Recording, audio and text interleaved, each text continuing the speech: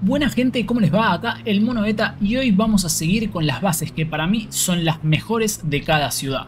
Y obviamente, como en el video anterior, vuelvo a remarcar que esto es mi opinión. Obviamente puedes opinar distinto y voy a estar encantado de que me dejes cuál es tu opinión abajo en los comentarios. Y ya que estamos, me puedes dejar un like en el momento que el video te vaya gustando o seguirme por acá o en Twitch si es que todavía no lo haces. Hoy nos va a tocar hablar de Rosewood. Y vamos a arrancar por el barrio Cheto.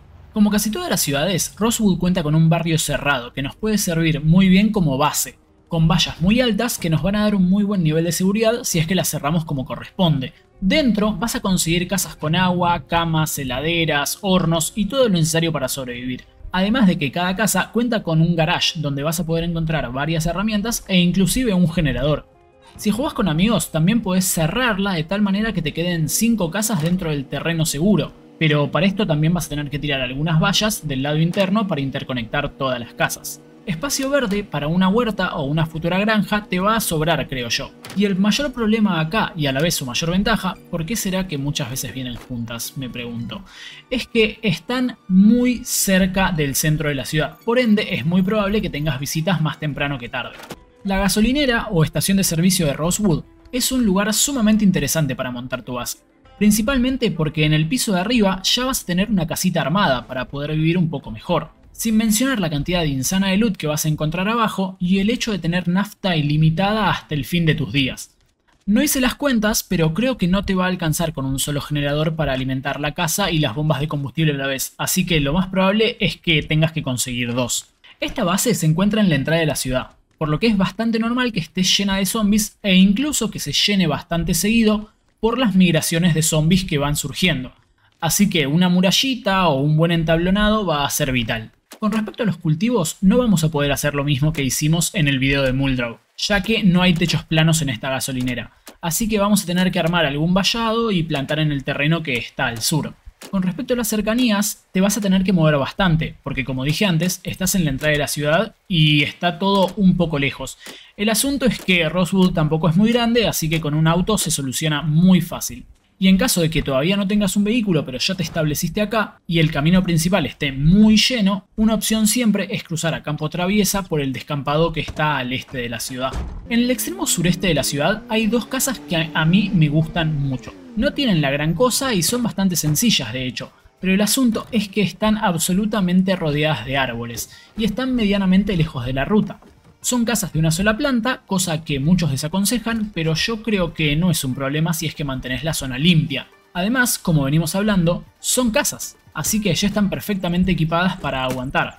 Una de ellas incluso cuenta con un mini cobertizo para guardar cosas y mantener todo ordenado, por no mencionar que en las dos podés guardar el auto dentro de la casa. E incluso una de las dos tiene una parrilla fija donde podés cocinar una vez que se haya ido la energía.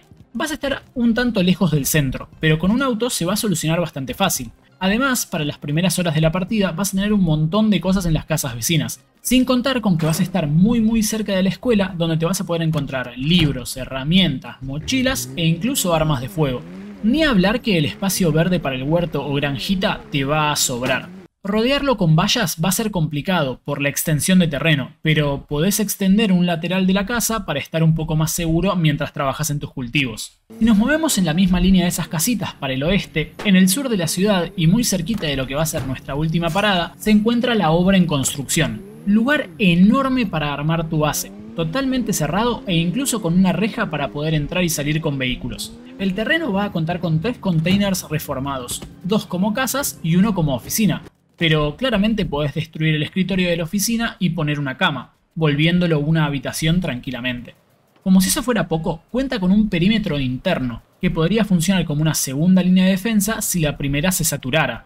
Del otro lado podés dejar un coche preparado y ya tenés toda la película armada. Pero volviendo a lo importante, hay un montón de espacio para cultivos, para granjas y para lo que tengas ganas de hecho. Hay un montón de espacio. Todo este espacio tiene un costo. El centro nos va a quedar medio atrás mano, pero bueno, la tranquilidad en peseta como en todo se paga.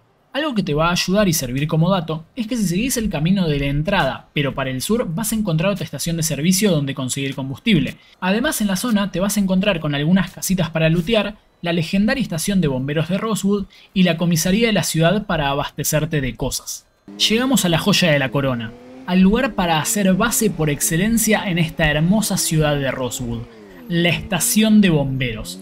Seguramente ya sabes todo lo que te voy a decir de este lugar, pero estando ubicada en uno de los extremos de la ciudad es un lugar enorme, lleno de loot, lleno de herramientas entre las que vas a poder encontrar hachas, palancas y un montón de cosas más.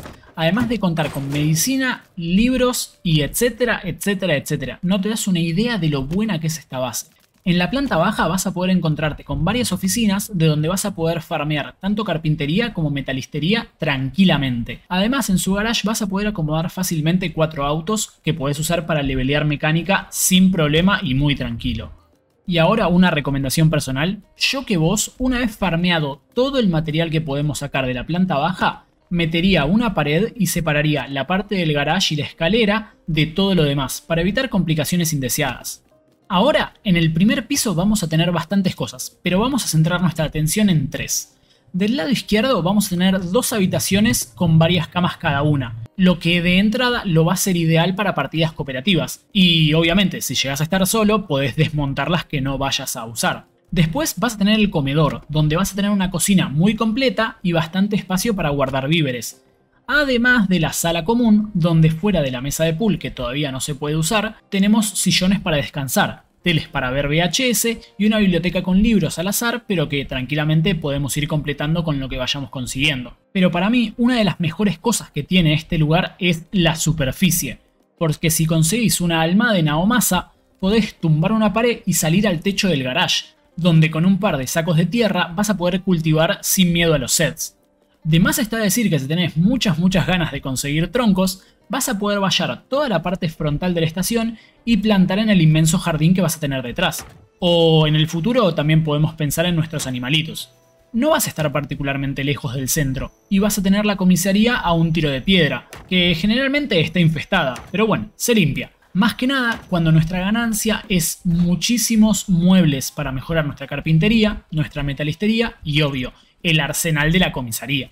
Por otro lado, si cruzas por arriba de la valla que vas a tener al norte, vas a poder acceder a casas con muchísima comida y herramientas. Además, particularmente, estas son todas de buen nivel adquisitivo, y casi todas cuentan con un garage, donde incluso podríamos encontrar nuestro generador. Hoy no va a haber bonus track. Es obvio que hay más lugares interesantes en Rosewood, pero bueno, esos son mis mejores recomendaciones por el día de hoy, y en especial si estás arrancando. Déjame en comentarios cuáles otras son tus favoritas, suscríbete al canal si no lo estás, y no te olvides de que el alfa no tiene huevos, y yo desde Rosario, capitán nacional de mi casa, me despido. Hasta la que viene.